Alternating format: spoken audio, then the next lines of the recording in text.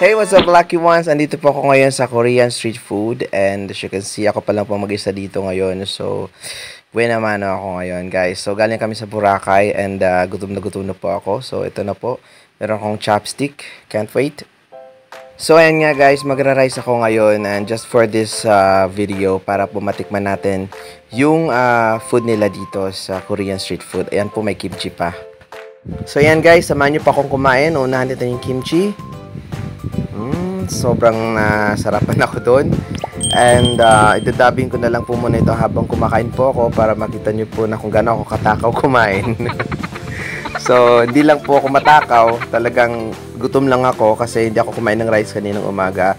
At maraming maraming salamat nga po pala kay um, uh, Sir JR Talidong for uh, accommodating us uh, at sa lahat po ng mga bumubuo ng NTS family um, Talidong family. Maraming maraming salamat. And also, happy happy birthday to uh, Bro Tonton Talidong. So, magkapatid po sila.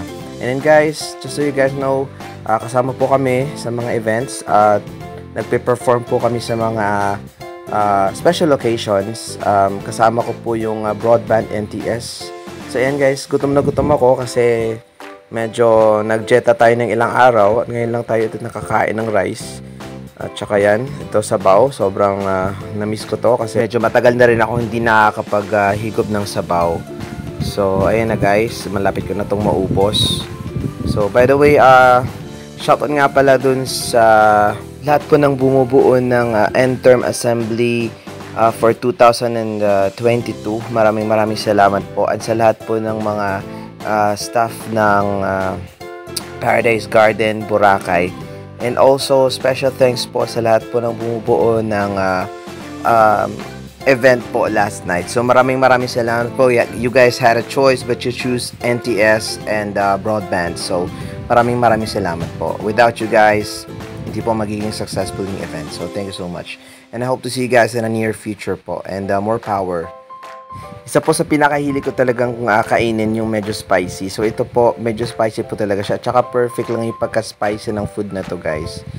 So, siya nga pala guys, yung napili kong food na kainin today is called bibimbap. So, I don't know what that means in Korea but it definitely sounds good and it tastes good literally. So, ako sa inyo guys, itry nyo na po ito. So, and, uh, hope to see you guys on my next video po and uh, hope you guys will uh, support me all throughout um, this whole journey. Maraming maraming salamat. Thank you. A few moments later. So, yun na nga guys. Busog na busog na po ako. Thank you so much and God bless. So, uh, marami pa po tayong pwedeng itry. Ayan po, nasa taas po ng uh, menu nila. Ang dami po nila dito selections. So, next up, itatry ko naman po yung ibang uh, menu. Ayan po, meron po ng mga extra dito na mga food. And uh, yung location po nila is andito po sila sa Kalibo. Malapit po sila dito sa Capitol.